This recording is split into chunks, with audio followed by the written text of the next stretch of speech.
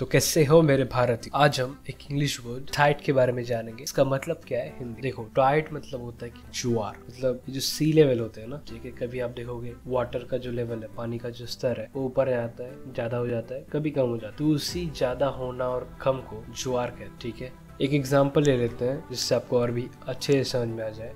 At high tide the bar completely submerged itself जब जुआर आया था मतलब जब पानी आया था बहुत सारा जुआर के साथ, ठीक है? तब जो बार्स से वो टोटली सबमर्ज हो गए थे मतलब पूरा डूब गया था।